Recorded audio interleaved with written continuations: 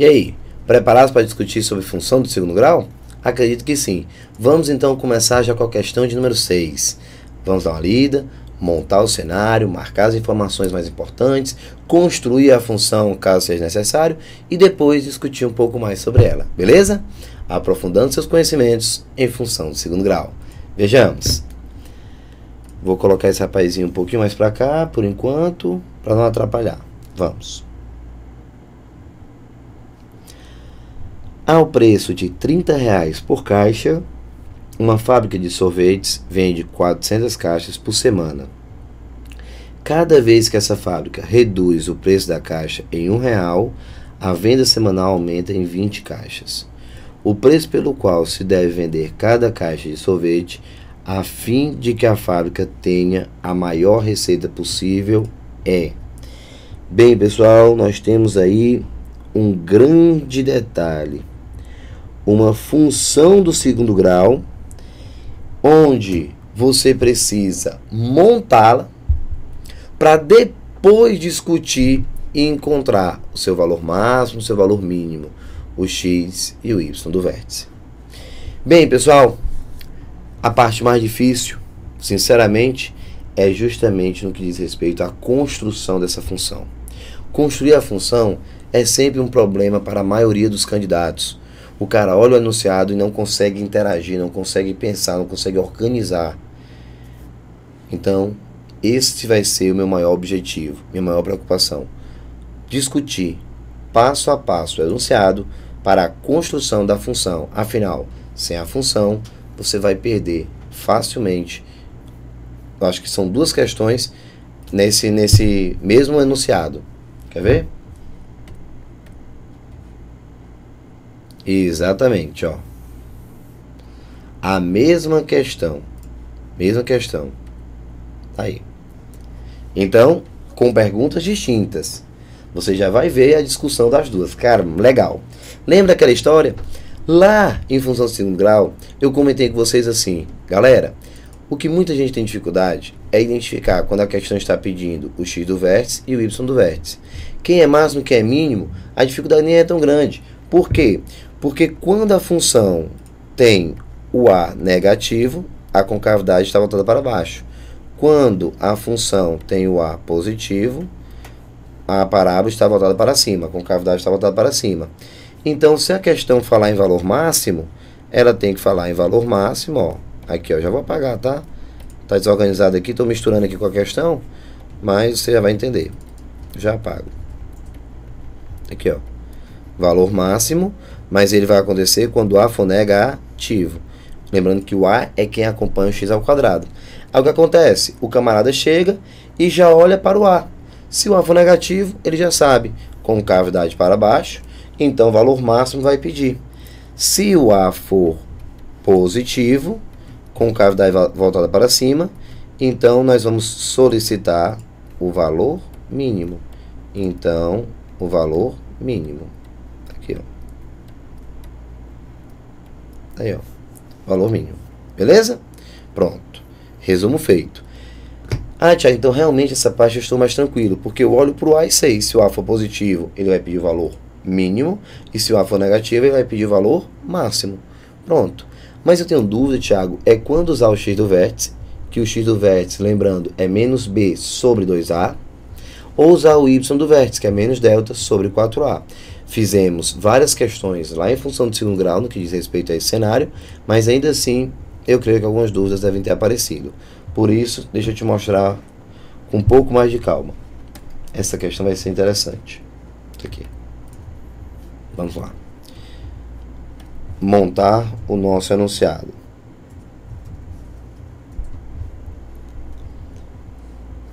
Deixa eu aumentar aqui o zoom desse rapaz. Pronto, tá bom. Ao preço de 30 reais por caixa, uma fábrica de sorvete vende 400 caixas por semana. Tudo bem? Por semana. Cada vez que essa fábrica reduz o preço da caixa em um real, se reduzir um real, reduzir em um real, a venda semanal aumenta 20 caixas. O preço pelo qual se deve vender cada caixa de sorvete, a fim de que a fábrica tenha a maior receita possível. Observe que a questão pede. Olha só.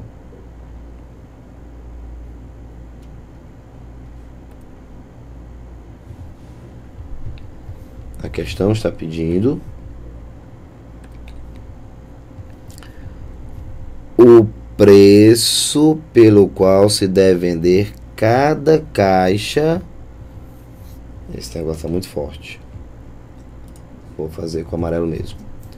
E vou grifar de vermelho. O preço pelo qual se deve vender cada caixa de sorvete, a fim de que a fábrica tenha o maior valor possível de receita.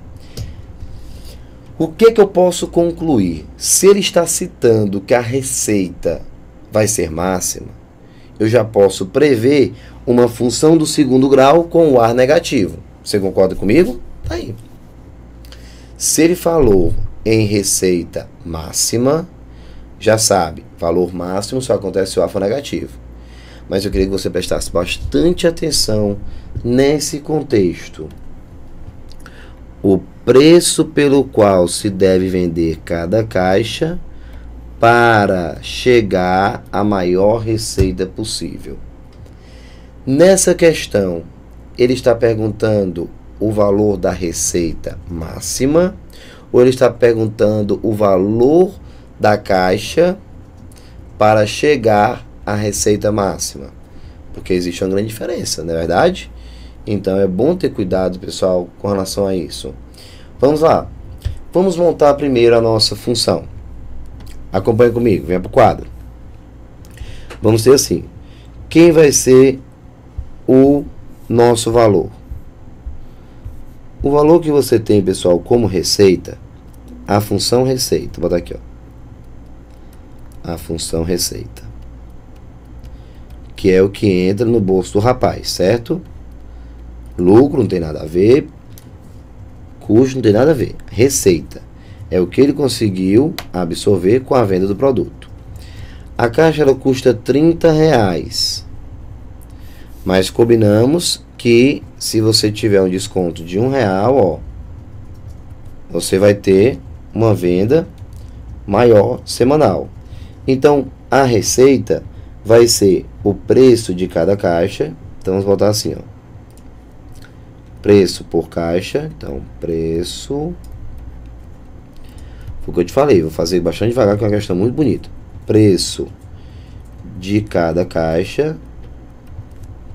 De cada caixa. Preço de cada caixa. Deixa eu diminuir aqui um pouquinho. Aqui, ó. Preço de cada caixa vezes vezes a quantidade de caixas vendidas. Então a quantidade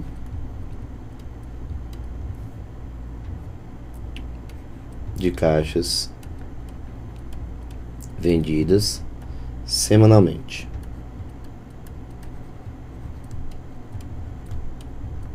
Semanalmente. Tá aqui, ó. Pronto. Tá aqui. A receita, pessoal, é isso aqui. O preço de cada caixa vezes a quantidade de caixas foram vendidas semanalmente. Pronto. Acabou. É isso aí. Não é verdade? O que é que eu preciso fazer agora?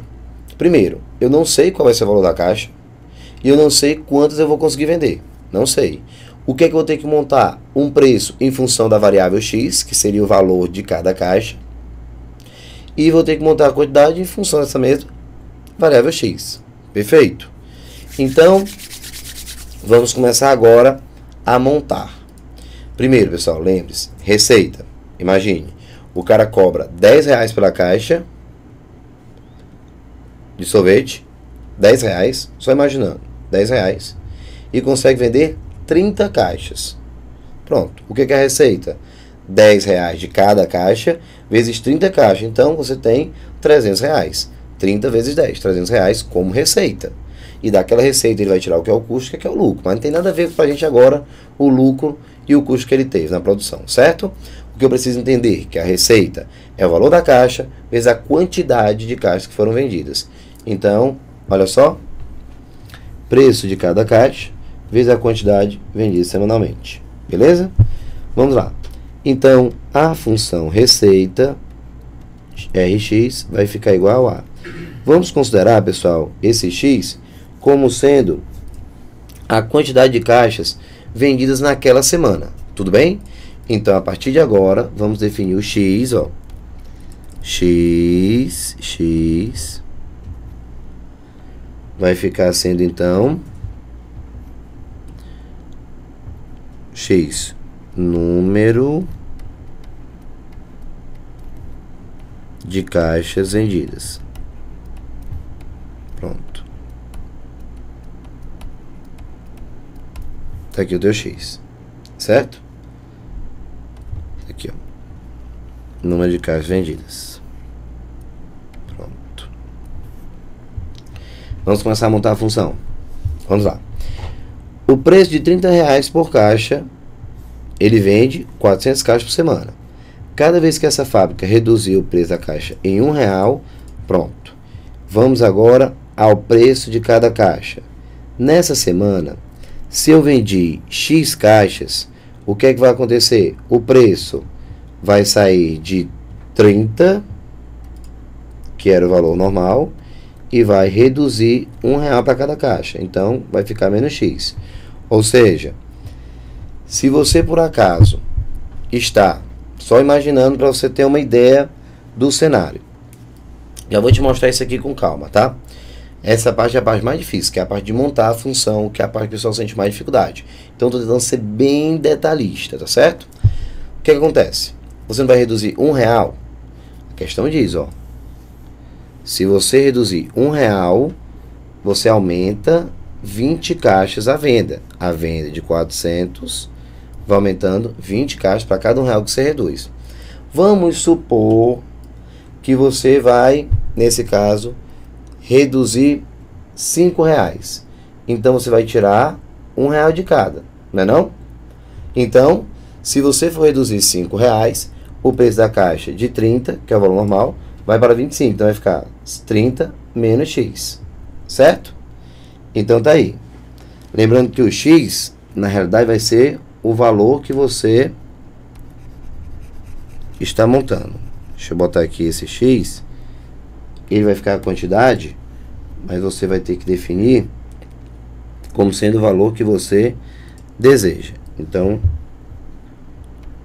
o valor a ser reduzido, né? Valor a ser reduzido. Pronto. Valor a ser descontado. Tá aqui, pronto. Pronto, fica mais fácil assim. O valor que você vai descontar. Então, eu estou reduzindo X reais. Ao reduzir X reais, significa dizer que a minha venda vai aumentar. Vai aumentar quanto? Vai sair de 400 caixas por semana para 20 caixas para cada real que você reduziu. Se você reduziu X reais, então vamos ficar com 20 vezes X. Você vai ter a quantidade de caixas 400 mais 20, X. Se você estiver reduzindo 5 reais, você vai pegar 20 vezes 5, tá certo? E assim você vai encontrar a função receita. Tudo bem? Vamos agora ler novamente o enunciado e já olhar. Vou logo desenvolver a função. Daqui a pouco a gente já volta, tá certo? Vi aqui um pouco de água. Vamos desenvolver agora a função. Função receita. Portanto, vai ficar ó, 30 vezes 400. Vou multiplicando aqui com vocês. Ó, 30 vezes 400, você vai encontrar 12 mil. Então, 12 mil. 12 mil. Logo em seguida, 30 vezes 20x. Você vai ter aqui, ó, 600x. Então, mais 600x. Observe que eu estou montando as setas, depois estou retirando para não sobrecarregar. Aqui, ó, menos x vezes 400, dá menos 400x, que é negativo. Então, menos 400x. Agora, menos x vezes 20x. O que é que você vai ter? Menos 20x ao quadrado. Deixa eu só voltar aqui para tirar a seta. Pronto. Menos 20x ao quadrado. Nesse caso, a minha função receita vai ser igual, vamos lá, menos 20x, menos 20x ao quadrado, mais 200x, mais 200x, mais 12 mil. Pronto, mais 12 mil. E essa é a nossa função. Vou colocar aqui para você ver. Pronto. Essa é a função. Tá aí. Hora de começar a resolver de fato a questão. O primeiro passo era montar a função. Vamos novamente. Essa é a função? Sim. Menos 20x ao quadrado, mais 200x, mais 12 mil. Primeira pergunta, que eu já queria tirar seria da sua cabeça. Professor, não dá para simplificar todo mundo por 20? Dividir todo mundo por 20? Não. Eu não posso dividir todo mundo por 20 por se tratar de uma função. Não é uma equação. Se você tivesse essa função substituindo o valor do, do r de x por zero, por exemplo, aí sim você ia ter uma equação, pode dividir, multiplicar todo mundo por uma mesma constante. O que não é o caso. Observe que você tem aqui ó, uma função que está escrita dessa maneira. Então você não pode se dar ao luxo, pessoal, de pegar simplesmente e alterar. Não pode. O que foi que você fez então? Agora vai ser rápido. O preço, 30 reais. O combinado, que você vende 400 caixas com esse preço. Se você reduzir um real, um real, a venda aumenta 20 caixas para cada um real. Ó. Cada vez que essa fábrica reduz o preço da caixa em um real, a venda semanal aumenta 20 caixas, certo? Então, eu vou chamar o X o valor a ser descontado, ou seja, quantos reais você vai retirar. Lembrando que para cada real, você deve aumentar o número de vendas da caixa em 20 unidades. Então, quem é a receita? Preço da caixa vezes a quantidade de caixas. Então, o preço da caixa, quem vai ser o preço da caixa? 30 reais menos o que você vai subtrair. Vamos imaginar que eu estou subtraindo 6, 6 reais. Então o preço vai ficar 30 menos 6. Você vai ficar com 30 menos 6. Só que como você reduziu 6 reais, para cada real você não aumenta 20 caixas, então você tem 6 vezes 20. Então vai ficar 400 mais 120, que é 20 vezes 6, ó, 120. Multiplica, você vai achar essa mesma equação, só que numérica, para um caso específico, quando você reduz 6 reais. Ok? Então a receita, valor da caixa vezes a quantidade. Onde o valor da caixa vai ser 30 menos x, onde o x é o valor que você está tirando. Para cada um real que você tira, você aumenta lá na quantidade 20 caixas. Por isso que fica 400 caixas mais 20 vezes x, que foi o que você reduziu. Perfeito. Então já sabe, o x é o valor que você vai descontar. O x ainda não é o valor da caixa que você vai vender. O valor da caixa que você vai vender vai ser 30 reais menos o x, o valor a ser descontado, tá bom? Bem, pessoal, tá aqui a nossa função. Vamos agora resolver. Ele quer o preço pelo qual se deve vender cada caixa de sorvete para chegar à maior receita possível. Bem, observe que o A é realmente negativo. Se o A é negativo, você tem aqui valor máximo ou tem valor mínimo? Valor máximo. O que a questão pode perguntar? O valor máximo. Se ela quiser, ela pode perguntar o valor máximo. E eu posso responder, já que a função tem a concavidade voltada para baixo, portanto, valor máximo. Beleza? Mas nessa questão, ele não pede o valor da receita máxima, não. Ele pede o preço que você deve vender a caixa para chegar à receita máxima. Então, o que é que o Tiago vai fazer? Vai achar o x do vértice ou vai achar o y do vértice? Isso, vai achar o x do vértice. Porque o x do vértice é a variável x. E o que é variável x? O valor a ser descontado. Se eu achar que o valor a ser descontado deve ser R$ reais, eu vou dar como resposta 30 menos 3, 27 reais, que é o valor da caixa. De 30, tira 3, vai para 27. Não se preocupe. Veja a sexta, a sétima questão que você vai ficar tranquilo. Eu peguei pesado mesmo. Então, próximo ponto. Vamos achar o x do vértice, que é menos b sobre 2a. E o que é que significa esse x do vértice?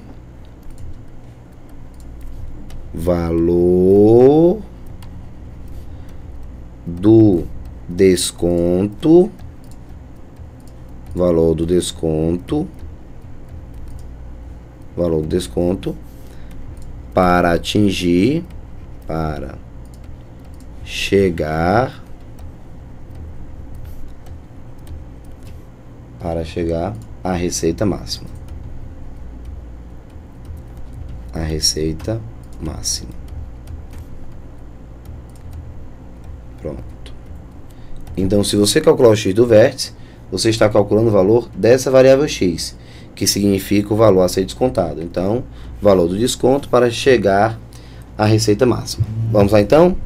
O x do vértice fica x do vértice igual menos B, quem é o nosso B aqui? O B, ó, 200, tá aqui, ó, A menos 20, B 200 e C 12 mil. Então você tem aqui 200, 200 dividido por duas vezes o A. Quem vai ser o nosso A aqui? Menos 20. Então, menos 20. Vamos ficar, portanto, com o x do vértice como sendo menos 200 dividido por menos 40. Menos com menos dá mais. 200 dividido por 40, vamos ficar com 5. 5 reais. Pessoal, 5 reais. Pronto. cinco reais. Esse é o valor que você deve vender a caixa? Não. O X não representa o valor que você deve vender a caixa. O X representa o valor a ser descontado. Então, se a caixa vale 30 e você está propondo um desconto de cinco reais para conseguir chegar à receita máxima, você deve vender a caixa, botar assim, ó. Aqui o preço de venda deve ser igual a 30 reais, que é o valor original, menos 5, que é o desconto. Então, o preço de venda de cada caixa deve ficar em 25 reais. Pronto. 25 reais. Tá aqui, ó. Aqui. Resposta correta. O item B de bola. 25 reais o valor de cada caixa que você deve vender. Acabou. Acabou, acabou, acabou, acabou. Não tem nem o que pensar, pessoal. Tendo um pouquinho de paciência, você consegue resolver com muita facilidade. Só isso. Tiago, e agora? E agora nós vamos para o último passo. Qual é o último passo? Da questão já acabamos, B de bola. Vamos agora para a próxima questão, ó. Esse é o preço de venda. Então, esse foi o preço de venda que foi combinado, ó desconto, que é o X de 5 reais, o valor vai para 25. A questão de número 7 diz assim: o preço de 30 reais por caixa, uma fábrica de sorvete vende 400 caixas por semana. Cada vez que essa fábrica reduz o preço da caixa em um real, a venda aumenta 20 caixas. A mesma coisa. A máxima receita fabricada é. Pessoal, a máxima receita dessa fábrica é: Olha só.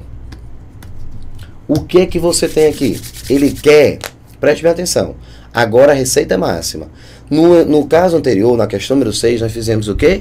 O valor do desconto para chegar à receita máxima. Meus amigos, agora ele quer a receita máxima dessa fábrica. Então, a máxima receita dessa fábrica vai ser 11.000, 12.000, 2.500, 2.800 ou, ou no caso seria aqui 12.975. Tá aí a nossa dúvida. Tiago, e agora? Receita, né? Tá aqui, ó. Receita máxima. Agora, pessoal, volte lá na questão, veja a função que você tem, veja a função que você tem e observe que a função representa a receita e vai ser valor máximo porque o A é negativo. Então, a função é a função da receita. Vai ser máxima porque a concavidade está para baixo. Então, pessoal, se ele está pedindo a receita máxima, ele está pedindo o valor máximo da função. E função é sempre a variável y, portanto, o y do vértice. O x é a variável x, o valor do desconto, enquanto o y é o valor da receita, que vai ser máxima. Então, x do vértice me deu o valor do desconto para chegar à receita máxima vi que eu vou vender por 25. Agora eu chego aqui e vou fazer a receita máxima. Vamos calcular agora o y do vértice. Quem é o y do vértice? Menos delta sobre 4a, usando a fórmula. O y do vértice, então, passa a ser igual. É bom montar com calma. Menos, menos. Delta vai ser b ao quadrado Lembrando que o delta é b ao quadrado menos 4 vezes a vezes c. O b, vamos ver. Ó, o b200, 12.000 e menos 20x, tá certo? Então, menos 20 o a, ó, menos 20x ao quadrado. Então, menos 20 o a, 200 o b e 12.000 c. Vamos ver, então. Agora, eu tenho o b você vai encontrar 200. Então, 200 ao quadrado, 200 ao quadrado, menos 4 vezes o A, que você viu que dava menos 20, vezes o C, que vale 12 mil. Pronto. Tá aqui. Fechou. Embaixo, 4 vezes o A, que é menos 20. O Y do vértice que, diga-se passagem, representa a receita máxima, receita máxima, e volta a repetir pela 15 quinta vez que a receita é máxima, não é porque você está calculando Y, não é isso. A receita é máxima, por quê? Porque você tem o A negativo, então vai te dar o valor máximo. Se o A fosse positivo, seria a receita mínima, tá bom? Continuava sendo o Y do vértice, só que seria a receita mínima. Então, resolvendo, vamos ficar com menos, aí aqui, 4 com mais 4 zeros, menos com menos, mais, multiplicando então, para você visualizar, você tem aqui, multiplique 4 vezes 2, 8. 8 vezes 2, 12, 96. Quantos zeros? 1, 2, 3, 4. 1, 2, 3, 4. Pronto. Embaixo, menos 80. Esse menos aqui de cima vai embora com esse menos aqui de baixo.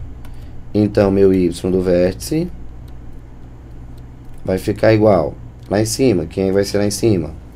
Se você somar 40 mil com mais 96 mil, você já vai encontrar nessa brincadeira 136 mil dividido por 80, certo? Hora de simplificar. 136 mil dividido por 80. Você vai ter aqui 1, 2, 3, 4, 2, 4. Então, vamos ver direitinho. Ver se eu fiz aqui tudo certo. Menos 20.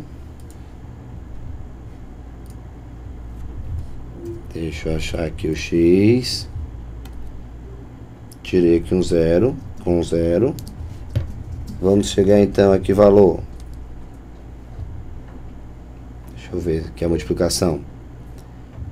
2 ao quadrado 4 com mais quatro zeros, perfeito. Então eu cheguei a 40 mil. Aqui, ah, aqui eu tenho 960. Então sumei aqui errado, pessoal. Preocupado aqui com o tempo. Ó, menos com menos ficou mais. 4 vezes 2, 8, que vezes 12 dá 96. E ganhamos 3, 4 zeros. Então, 4 zeros. Aqui você tem 960 mil. E aqui eu tenho 40 mil. Pronto. Então, você tem 960 mil com mais 40 mil. Portanto, você vai ficar com apagando. Vamos ficar com 1 milhão 960 mil com 40 mil, perfeito. 3, 6, no caso, 7 zeros. 1 eu cancelei com esse de baixo. Então vamos dividir na realidade 3, 6, 7 zeros. Tem um a mais, tem um a mais. Então cancela aqui, tem uma a mais. Aí aqui sim, ó, 1 milhão, ponto. Cancelei, cancelei. Agora você tem 100 mil dividido por 8. Pronto. Agora você tem 100 mil dividido por 8. Nesse caso, 12.500 vai ser o y do vértice. No caso, a receita máxima. 12.500, o valor da sua receita máxima. Esse é o maior valor que você pode encontrar para a receita desse rapaz, no caso, o item C de casa. Lembrando mais uma vez que eu usei a fórmula do y no vértice. Você quer ver como resolver essa mesma questão sem precisar usar da fórmula? Lembrando que eu estou te dando as duas opções, porque você precisa saber as duas para o dia da prova, você ficar à vontade para escolher a que você julgar mais simples. No próximo vídeo, eu já inicio mostrando que você pode resolver esse mesmo item, essa mesma questão número 7, sem usar a fórmula do y do vértice, apenas substituindo. Um forte abraço, tudo de bom. Daqui a pouco eu mostro com calma como seria essa segunda opção. Valeu!